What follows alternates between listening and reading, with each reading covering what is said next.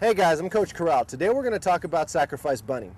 Now, sacrifice bunting, usually in a game situation, is something where both sides know it's coming. The offense knows that this is a bunt situation, they got to get something successful down, while the defense knows that there's runners that are potentially in scoring position and that a good bunt is going to help them to get the runners over.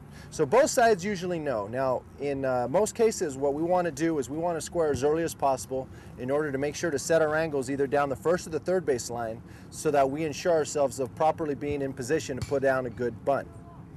Now there's a lot of different ways to bunt. I'm going to show you my favorite way, but there's a lot of coaches that teach a couple different ideas, and I'll show them both to you. And I'll also show you the one that I fancy the most because I, I feel that uh, it's probably one of the most successful ways to bunt the ball. Here we go with Bunny.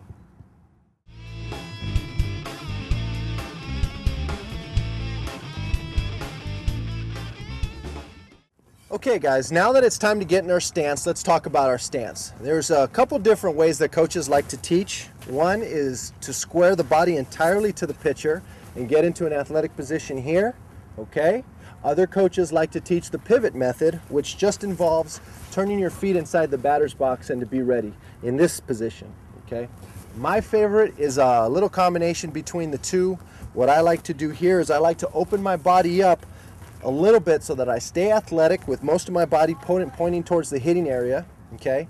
The other thing I like to do is open up uh, just enough, and in this situation, as I'm opening up in this position here, I can get my foot as close to the back of the line in the batter's box as possible so I can cover the outside part of the plate. Now if I square, I'm bringing my hands too far across here to really be able to control this side or the other, number one. And secondly, I'm in a really bad position. If the pitcher wants to throw inside, I can't get back and uh, be mobile enough to get out of the way of certain pitches.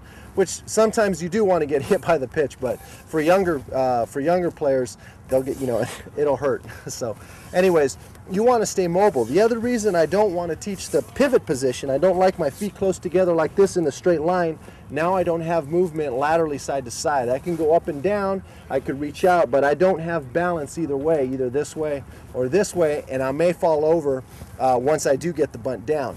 So what I like to do is a little marriage between the two where I open up just slightly, my back foot gets close to the back line, which gets me closer to the plate. Now I have my hips, my shoulders, everything pointed down first base. So once I do get my bunt down, I can take off. I got good positive motion towards the base that I'm running to. Uh, again, I can get as close to the plate as I want, but I'm still uh, lateral. I'm still, I still got a wide enough base where I can stay mobile. I can stay balanced. I won't fall to one side or the other. I can bend my knees up and down and get a good bunt down.